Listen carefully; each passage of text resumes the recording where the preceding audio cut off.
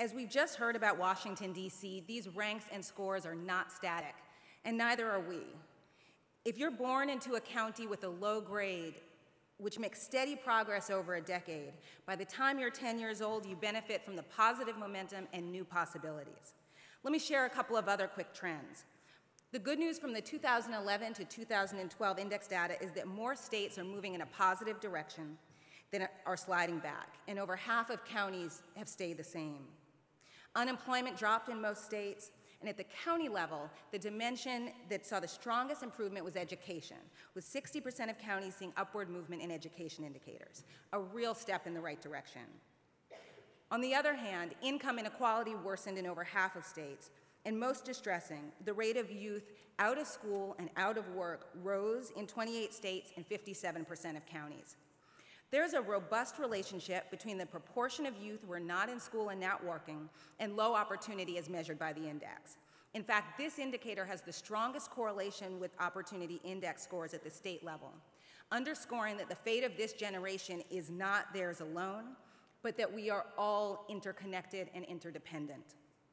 In the top 10 ranked states, the percentage of disconnected youth dropped slightly but in bottom states, it rose by an average of 1% over the last year. And relatedly, on-time high school graduation and the share of adults with post-secondary education is also strongly correlated with scores. And that's why these are critical rungs that must be mended.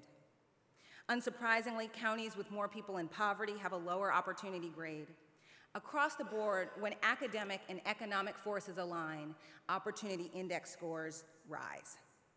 So our 10-year goal and we hope you share this with us, is to increase opportunity scores over the next decade by at least 10% in all 50 states.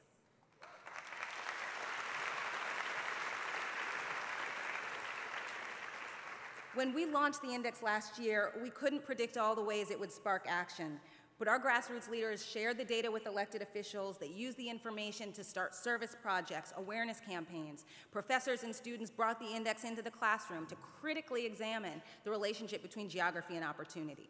So there is a role for each of us in rebuilding the ladder. We've talked today a lot about big numbers, millions of young people who want their shot. And at the county level, these figures quickly transform from abstract numbers to real lives when opportunity leader Linda Nelson learned that 460 young adults in Ouachita County, Arkansas, needed to connect to work or school, she stepped up to start an action community beginning with life and career planning workshops for young adults. So, take a look now on your name card and see your hometown's grade and the percentage of youth disconnected from school and work there. And on your phone or back at a computer, check out your score at your current address at www.opportunityindex.org.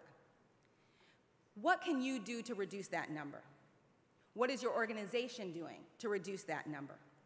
And once you've identified it, go to our national impact map, get in touch with us, and tell us what you are doing and what we can do together.